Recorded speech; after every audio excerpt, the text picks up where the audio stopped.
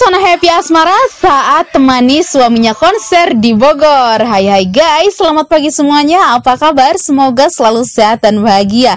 Siapa yang tadi malam nonton Gilkustik di Bogor? Hayo, sini-sini merapat. Jadi guys, tadi malam itu nggak hanya Gilkustik aja yang hadir ya Tapi masih banyak artis-artis lainnya. Dan seperti yang kalian lihat nih guys Uh, bunda kalian nih pesonanya terus menyala. Semangat terus ya Mas Gil, jangan dengarkan omongan miring orang-orang sebelah. Gak usah peduli dibanding-bandingkan atau gak usah peduli disebut idolanya emak-emak disebut idolanya mbak-mbak pabrik dan sebagainya. Suara jaran apalah itu ya guys. Yang penting tetap menyala tetap berkarya. Terus pokoknya uh, asah kemampuan. Insya Allah Gilpi selalu menyertai ya doa-doanya ya guys ya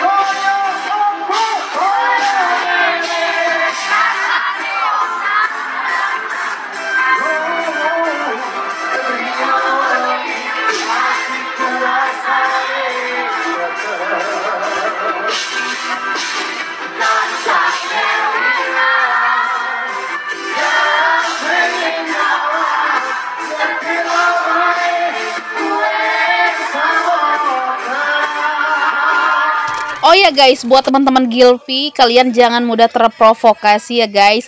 Jangan sampai membalas kebencian orang lain.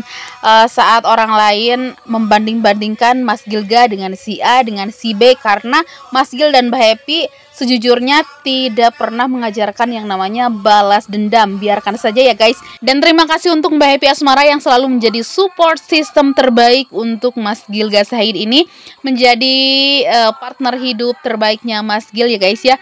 Begitupun juga Mas Gilga katanya nih kata Mbak Happy Mas Gil itu adalah nyawaku dan dia adalah satu-satunya alasan untuk aku tetap hidup dan tersenyum.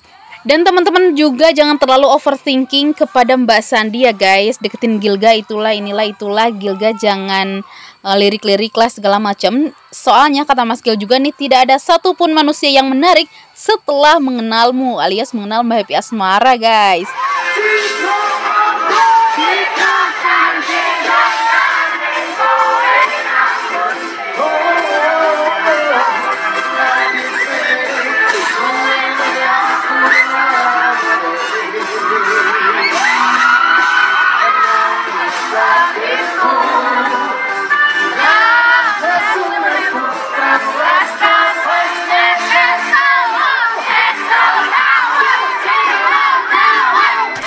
Oh ya guys, kalian kemarin baca nggak sih uh, di FYP ya guys ya?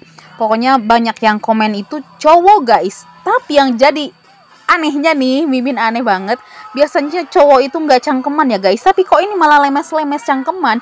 Bilang lagu-lagunya Mas Gil nggak trending lah, nggak terkenal lah. Bilang trendingnya karena coveran lah. Wah pokoknya idola mama pasar lah. Aneh ya guys ya kok bisa ya? Tapi bagus deh Mas Gil berhasil membuat para cowok-cowok iri kepadanya. Yang iri biarkan semakin berisik